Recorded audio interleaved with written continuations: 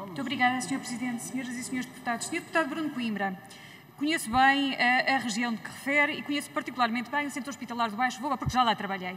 E, portanto, estou como o senhor, o senhor uh, líder do seu partido. Eu não, não corro, uh, não me precipito. Já ando há muitos anos nisto. Conheço bem essa realidade. Não é uma realidade que tenha emergido de repente. Infelizmente, infelizmente, esse trabalho de recuperação de gabinetes, de falta de pessoal, de melhoria da climatização, envolve também as, as, administrações que lá trabalham e é com elas que estamos a trabalhar. E foi com elas que conseguimos pôr mais 58 médicos nesse centro hospitalar, mais 26 enfermeiros, mais 26 internos, mais 91 enfermeiros, mais 21 TSDTs. E não assobiamos para o lado, assumimos sempre as nossas responsabilidades. Senhor Deputado Paulo Marques, a questão do alargamento da rede de cuidados de saúde oral, obviamente, é uma das nossas prioridades. Vamos prosseguir essa, esse aspecto dessa política. Eh, como lhes disse, foi muito, foi muito reconfortante ouvir pessoas que nunca tinham tido acesso a um dentista, eh, ouvir profissionais de saúde que nos disseram que tinha sido muito bom, de facto, contribuir para que outros possam sorrir, possam comer, possam ter um trabalho normal. Senhora Deputada Diana Ferreira, a Unidade Local de Saúde do Alto Minho tem mais 37 médicos, 14 internos, 80 enfermeiros. Uh, em, questão, em termos de, uh, daquilo que foi o reforço orçamental desta unidade, ao longo da última legislatura ela cresceu 13%. Santo Tirso é uh, uma obra que está em curso e que tem cinco meses de execução. Senhor Deputado Maloda Bereu, Maternidade de Coimbra, como é sabido, a questão, a única questão que inibe o Governo de eh, avançar com esse projeto é a indefinição quanto à localização da nova maternidade. Recebemos anteontem os estudos conclusivos sobre esse tema e, portanto, a decisão será agora tomada.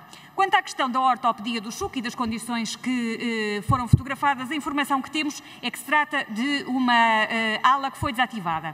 Quanto à questão da humanização dos nossos hospitais, recomendava que consultasse aquilo que foi o nosso compromisso com todos os hospitais do Serviço Nacional de Saúde, que foi assinado nos primeiros dias de setembro. Senhora Deputada Paula Santos, quanto à questão do Hospital Garcia da Horta, aquilo que aconteceu foi que nós tínhamos a expectativa de que dois concursos uh, de pediatras abertos para sete vagas tivessem sido aceitos. Infelizmente, isso também não aconteceu e por isso nos vimos na uh, iminência de tomar esta medida, que volto a insistir, é apenas temporária. Relativamente à unidade Miranda do Corvo, há novos 13 ATs, assistentes técnicos, na uh, Administração Regional de Saúde do Centro.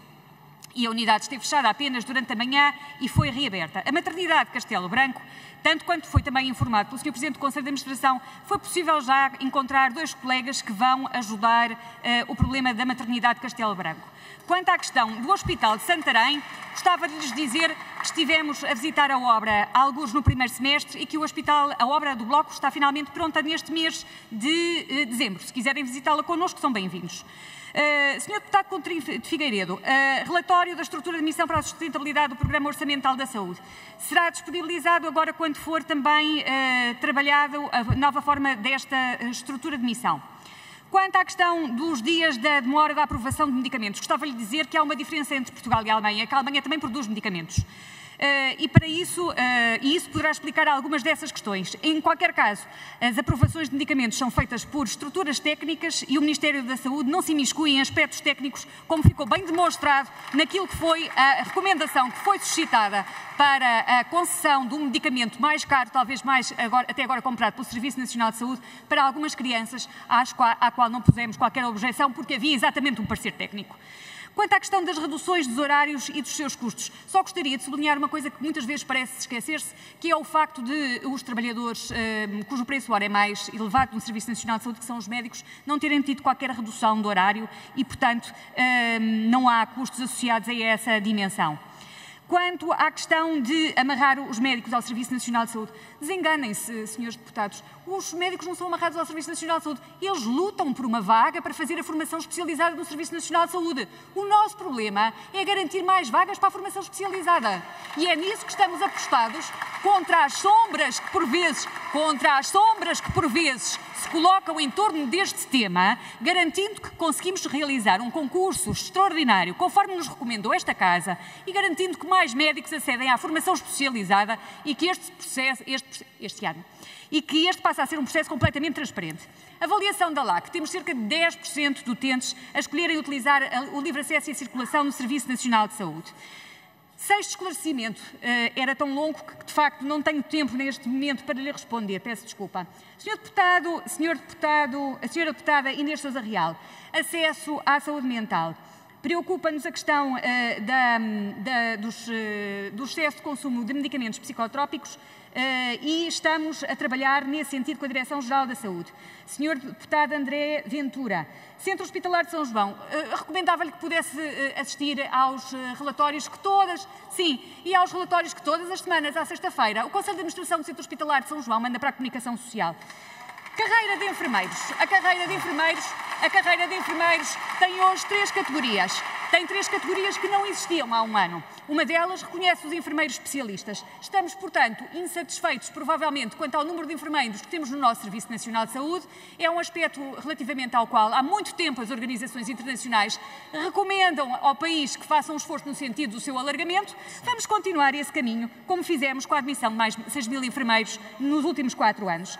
Senhora Deputada Sandra Pereira, o encerramento do HGO não aconteceu antes, não foi por uma questão uh, política, foi pela questão de que, de facto, os médicos uh, aguentaram as pontas até fracassar o último concurso para a admissão de jovens especialistas. Mas tenho uma novidade para lhes dar, é que, de facto, foi possível, foi possível contratar uh, dois novos recém-especialistas, dos que acabaram agora o, o, o exatamente. E, portanto, são umas boas novidades, fico contente porque todos ficam contentes. Quanto à questão da, ainda, ainda da, da, do Hospital da Madeira, Senhora Deputada, uh, Senhor Deputado Rui Cristina, quanto à questão da construção do novo Hospital do Algarve, não fui eu que deixei a PPP na gaveta, não foi este governo. Quanto à questão do novo Hospital Central da Madeira, Senhora Deputada Sara Madruga, a componente a componente nacional do financiamento do pagamento do novo Hospital Central da Madeira cobrirá 50% da construção, equipamento e fiscalização da obra no âmbito do Orçamento de Estado para 2020. Guarda, guarda Cristo, Sr. Deputado Cristóvão Norte, guarda já referi que temos 1,4 mil milhões de euros uh, adicionais, também 1,4 milhões de euros de reforços. Quanto à questão dos vales cirúrgicos, uh, não são os, uh, os doentes que batem com a porta, são, ao contrário, muitas vezes uh, os, os doentes que não querem ir aos hospitais. Não há aqui nenhuma armadilha de desumanidade. Muito obrigada.